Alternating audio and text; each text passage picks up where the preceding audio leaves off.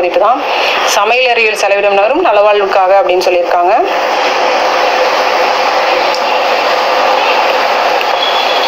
அதே மாதிரி இதுவும் மூளை பற்றி கொடுத்துருக்காங்க.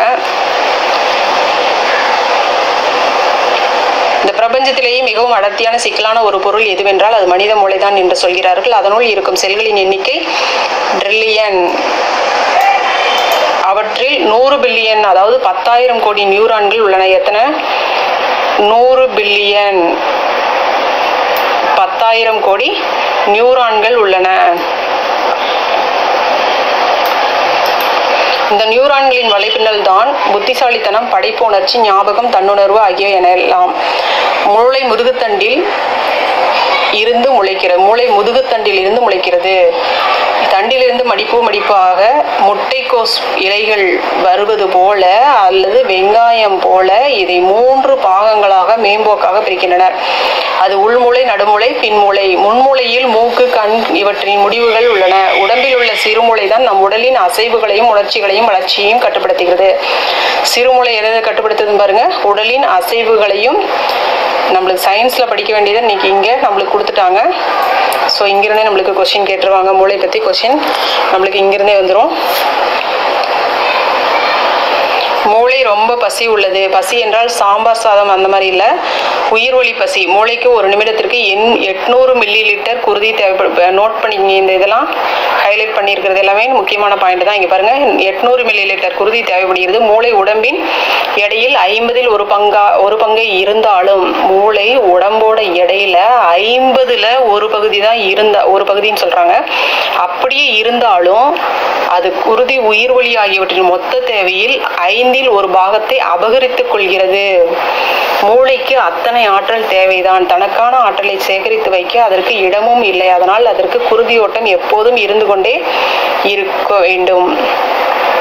இங்க பாருங்க தலையின் பகுதியில் நடைபெறும் சில தன்னிச்சையான செயல்களான வெளிச்சத்திற்கு ஏற்றபடி கண்களை திறப்பது தலையை திருப்பும் போது கண்களை தி- நிலைத்து நிறுத்துவது ஆகியவற்றை எல்லாம் மூளையே பார்த்துக் கொள்கிறது. ஆனால் ஏப்பம் விடுவது எது எதுங்க?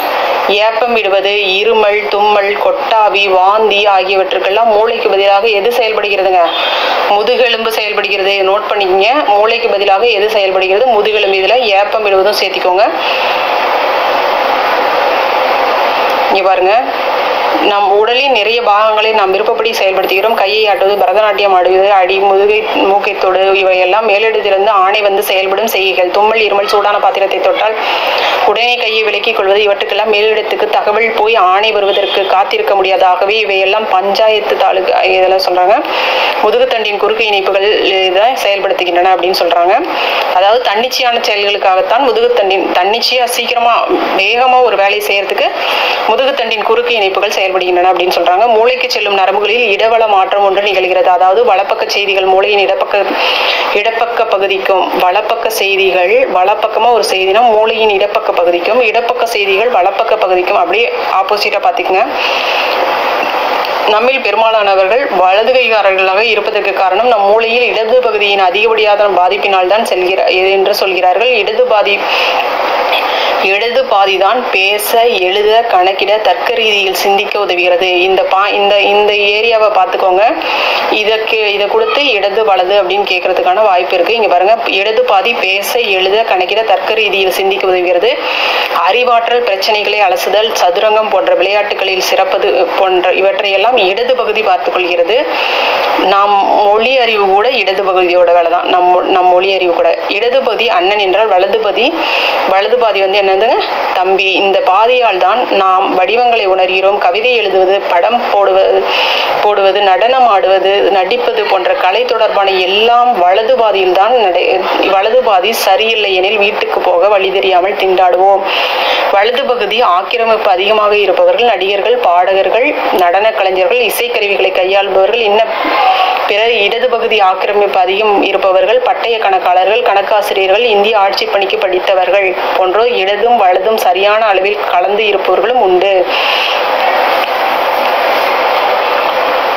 இதெல்லாம் ஹைலைட் பண்ணதெல்லாம் நல்லா பார்த்துக்கோங்க. மூளையும் உணர்வுகளும். கோபம் பாசம் அன்பு வியப்பு வெறுப்பு எல்லா உணர்ச்சியும் இது கட்டுப்படுத்துகிறது. சொல்லியிருக்காங்க.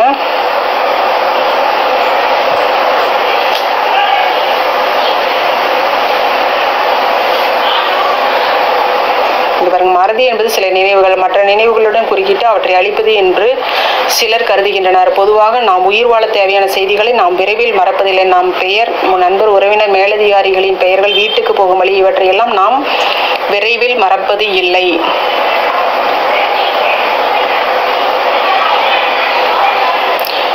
தற்காலிக நினைவில் புதியதாக செய்திகள் உள்ளே நுழையும் பொழுது பழைய செய்திகள் நீக்கப்படுகின்றன. உங்களுக்கு இன்று காலை சாப்பிட்டது போன வாரம் சாப்பிட்டது நினைவில் இருக்க. ஆனால் திரும்ப திரும்ப நினைத்து பார்த்தால் ஒரு செய்தியை அதிக காலம் தற்காலிக நினைவில் நிறுத்த முடியும். ஃப்ரெண்ட்ஸ் இது நம்மளுக்கு நம்ம பாயிண்ட்டை நம்ம படிக்கிறதுக்கு பாயிண்ட்டை எடுத்துக்கங்க. அதுதான் சொல்றது. திரும்ப திரும்ப நம்ம விஷ படிக்கிறத ரிவிஷன் பண்ணிகிட்டே இருக்கணுங்கிறது. ஏற்கனவே நம்ம ஃபுல்லாக ஒரு நல்ல தெளிவாக படித்து வச்சிட்டோம் அப்படின்னு சொல்லிட்டு அதை விட்டுறக்கூடாது. எப்பயுமே படிச்சதை ரிவிஷன் பண்ணிட்டே இருக்கணும். அதுக்காக தான் நம்ம வந்து எப்பயுமே சொல்றது என்ன அப்படின்னா தமிழுக்கு ரொம்ப இம்பார்ட்டன்ஸ் கொடுங்க. நிறைய பேர் என்ன பண்ணுவாங்க தமிழ் படிச்சு முடிச்சுட்டு அது ஓரம் கட்டி ஒரு இதில் வச்சுட்டு அடுத்தது அடுத்த சிலபஸ்லாம் படிக்க ஆரம்பிச்சிருவாங்க. அப்புறம் பார்த்தோன்னா தமிழ் அப்படியே தேங்கி கிடக்கும். எடுத்து பார்க்கும்போது கொஷினை நம்மளால் கொஷினுக்கு நம்மளால் ஆன்சர் பண்ண முடியாமல் போயிடும் ஸோ டெய்லியுமே தமிழுக்கு தமிழுக்கு ஒரு குறிப்பிட்ட டைம் ஒதுக்கியே ஆகணும். அதை டச் பண்ணிகிட்டே இருந்துகிட்டே இருக்கணும். எல்லா சப்ஜெக்ட்டுக்குமே சொல்கிறேன் எந்த சப்ஜெக்டையுமே நம்ம வந்து ஒதுக்கக்கூடாது. அதனால ஈ எல்லாத்துக்கும் ஈவனாக டைம் கொடுத்துட்டே தான் இருக்கணும். அதுதான் இங்கே இது. திரும்ப திரும்ப ஒரு விஷயத்தை பார்க்கும்போது நம்மளால் நினைவில் வச்சுக்க முடியும். ஆயிரக்கணக்கான கொஷின் லட்சக்கணக்கான கொஷின் கூட நம்மளால் மைண்டில் வச்சுக்க முடியும். நீங்கள் ரொம்ப எல்லாம் யோசிக்காதீங்க. நம்மளால் இதெல்லாம் பண்ண முடியுமா அப்படின்லாம் நினைக்கவே நினைக்காதீங்க. முடியும் உங்களால் கண்டிப்பாக முடியும். இங்க பாருங்க தேர்வுக்கு மனப்பாடம் செய்வது போல இவ்வாறு மீண்டும் மீண்டும் நினைக்கப்படும் செய்திகள் தேர்ச்சி பெற்று நம் மூளையின் நிலையான நினைவுக்கு அனுப்பப்படுகின்றன. அதனால தான் நம்ம ஒரு விஷயத்தை திரும்ப திரும்ப திரும்ப திரும்ப நினைக்கும் போது அது வந்து நிலையான நினைவுக்கு அளிக்க அனுப்பப்படுகிறது அப்படின்னு சொல்றாங்க. இதுல ஒரே ஒரு விஷயம் தான் உங்களுக்கு சொல்றேன். உங்களுக்கு வேணும்னா அதை ஃபாலோ பண்ணி பாருங்க. நீங்க வந்து டூ ஹண்ட்ரடுக்கு நீங்கள் வந்து ஒன் செவன்ட்டி ஒன் எயிட்டி அப்படின்ட்டு நீங்கள் வந்து உங்களோட ஒரு நல்ல ஒரு சார்ட்டில் அழகாக நோட் பண்ணி நல்ல ஒரு பிக்சர் போட்டு அதை வந்து ஓ நீங்கள் படிக்கிறதுக்கு முன்னாடி ஃப்ரண்ட்டில் ஒரு செவத்துலேயோ இல்லை டே டேபிளுக்கு ஃப- முன்னாடியோ ஒட்டி வச்சுக்கோங்க. திரும்ப திரும்ப அதை பாருங்கள் அதுவாகவே வாழுங்க. உங்களால் முடியும் அப்படின்னு டெய்லி டெய்லி அதுக்கு அந்த வேவ் லென்த் இருக்கு பார்த்தீங்களா கண்டிப்பாக அது உங்களைய சாதி உங்களை உங்களுக்கு அந்த அந்த எண்ணம் வந்து உங்களுக்கு நிறைவேறும். எண்ணங்கள் தாங்க வாழ்க்கை. நம்ம திரும்ப திரும்ப ஒரு எண்ணத்தை நம்ம மூளையில் செயல்படுத்திக்கிட்டே வந்தோம்னா கண்டிப்பாக அது சக்சீட் ஆகும். இதுதான் படிக்கிறதுக்கான அது மட்டும் இல்லாமல் அந்த அந்த குறிக்கோளை நம்ம எப்படி அடையிறது அப்படின்னு சொல்லிட்டு நம்ம அடுத்தடுத்து அடுத்தடுத்து நம்ம வேகமாக நம்மளையே முன்னெடுத்து சென்றுட்டு கொண்டுகிட்டு போயிட்டே இருப்போம். ஸோ இதெல்லாம் ஒரு டாக்டிஸ் தான். நம்மளோட வீடியோவில் கூட நான் இதுக்கு இதெல்லாம் சொல்லியிருக்கேன். இது என்னென்ன பண்ணலாம் எப்படி டாக்டிஸ் அதுக்கப்புறம் மெடிடேஷன் என்ன பண்ணலாம் சின்ன மெடிடேஷன் இது எல்லாமே நம்ம எப்படி வந்து மைண்டில் அதாவது ஞாபக சக்தி எப்படி இம்ப்ரூவ் பண்ணுறது இதுக்கான விஷயங்களுக்காக தான் நான் சொல்லியிருக்கேன். ஏன்னா நான் யோகாவில் டிப்ளமோ முடிச்சிருக்கேன். அதுவும் ஒரு இது. இங்கே பாருங்க உங்கள் பெயர் எதுவாக வேண்டுமானாலும் இருக்கலாம். ஆனால் சின்ன குழந்தையிலிருந்து நான் என்- நான் என்ற உணர்வு நிச்சயம் நம்ம எல்லோருக்கும் ஏற்படுகிறது. இதெல்லாம் ஓகே இங்கே பாருங்க நம்ம தூங்கும் போது எல்லாம் என்னை ஏதோ அமுக்கிருச்சு அப்படின்னு சொல்றோம் பார்த்தீங்களா அப்போ கொஞ்ச நேரம் நம்மளால கை காலை கூட அசைக்க முடியாம அதை தான் இங்கே சொல்லிட்டு இருக்காங்க. எந்திரிக்க முடியாமல் போயிடும் அதை சொல்லிட்டு இருக்காங்க. மூளையும் அன்றாட நிகழ்வுகளும் பாருங்க அவசரமே இல்லாத அன்றாட நிகழ்ச்சிகளை மூளை எப்படி சமாளிக்கிறது என்று பார்க்கலாம். சுமார் தொண்ணூறு நிமிடங்களுக்கு ஒரு முறை நாம் எல்லோரும் மனநிலை மாறுகிறோம். இதை நோட் பண்ணிங்க. எத்தனை நிமிடங்களுக்கு ஒரு முறை தொண்ணூறு நிமிடங்களுக்கு ஒரு முறை என்று ஆராய்ச்சியாளர்கள் சொல்கிறார்கள். கொஞ்ச நேரம் சுறுசுறுப்பு கொஞ்ச நேரம் பகல் கனா பகல் கனா இப்படித்தான் நாம் மாறி மாறி வாழ்கிறோம். பகலிலும் சரி இரவிலும் சரி. ஃப்ரெண்ட்ஸ் நீங்கள் வந்து ஒரு விஷயத்தை திங்க் பண்ணிகிட்டே இருக்கிறீங்க. ரொம்ப அப்படியே டீப்பாக திங்க் பண்ணிகிட்டே இருப்பீங்க. நீங்கள் நோட் பண்ணி பாருங்கள் ஒரு கொஞ்ச நேரத்துக்கு மேலே உங்களால் அந்த அந்த விஷயத்தில் பர்டிகுலர் விஷயத்தில் உங்களால் க இது பண்ணவே முடியாது கண்டினியூ பண்ணவே முடியாது. அது நம்மளோட நம்மளுக்கே அறியாம நம்ம உடனே அடுத்த விஷயம் அடுத்த நம்மளோட எண்ண அலைகள் அடுத்த விஷயத்துக்கு அடுத்த விஷயத்துக்கு போயிடும் இதுதான் சொல்கிறாங்க ஸோ தொடர்ந்து நம்மளால் ஒரு விஷயத்தை தொடர்ந்து ரொம்ப நேரம் அதை வந்து யோசிக்க முடியாது அப்படின்னு சொல்கிறாங்க ஒரு ஒரு நாளைக்கு மூளை வந்து இது இங்கே சொல்லியிருப்பாங்க பாருங்கள் சுமார் தொண்ணூறு நிமிடங்களுக்கு ஒரு முறை இதை நோட் பண்ணிக்கங்க. சராசரி மனிதன் தனது வாழ்நாளில் இருபது வருடம் எவ்வளவு வருடம் தூங்குகிறான்? இருபது வருடம் மூன்று லட்சம் கனவுகள் காண்கிறான். நினைவு நினை நினைவு போல் தூக்கமும் நம் நரம்புகளில் முக்கிய நிலையை ஏற்படுத்த முக்கிய நிலை தான் கனவு என்பது மனதில் உள்ள நினைவ நினைவலைகளில் அன்றைய அல்லது சமீபத்திய நினைவுகளை வகைப்படுத்தி வரிசைப்படுத்தும் செயல் என்கின்றனர். கனவுகள் அலமாரியில் உள்ள பொருட்களை ஒவ்வொன்றாக எடுத்து பார்த்து திரும்பி வைப்பது போன்றது என்கிறார். அப்துல் கலாம் சொன்னது இங்கே நினைவு வரு- நினைவுக்கு வருதுங்களா கனவு காணுங்கள் இளைஞர்களை கனவு காணுங்கள் அப்படிங்கிறார். நம்ம கனவு எண்ணங்கள் தாங்க நம்ம கனவு. நம்ம என்ன நினைக்கிறோமோ அதுதான் கனவா வெளிப்படும். நம்ம என்ன செயல்கள் செய்கிறோமோ அதுதான் கனவா வெளிப்படும். ஸோ அந்த கனவுகள் நம்ம நம்ம திரும்ப திரும்ப திரும்ப திரும்ப நல்ல எண்ணங்களை விதைக்க விதைக்க விதைக்க அது ஒரு கனவா மா அந்த அதுதான் கனவா வருது. அதுதான் செயலாகவும் மாறுது.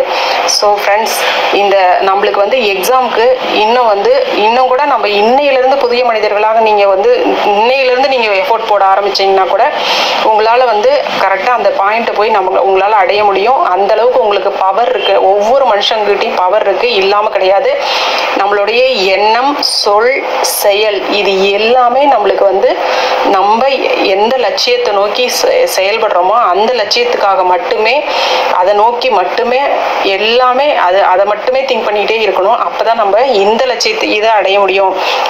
அதுக்கப்புறம் ஜாலியாக இருந்துக்கலாம். என்ன வேணாலும் பண்ணலாம். நம்ம ஃபோன் எடுக்கலாம். ஃபோனில் எல்லாத்துக்கும் சேட் பண்ணலாம் எல்லாமே பண்ணிக்கலாம். அது வரைக்கும் நம்ம எல்லாத்தையும் ஓரங்கட்டி வச்சுட்டு நம்மளுக்கு என்ன தேவையோ அதை ப அதை ப இது பண்ணுங்க.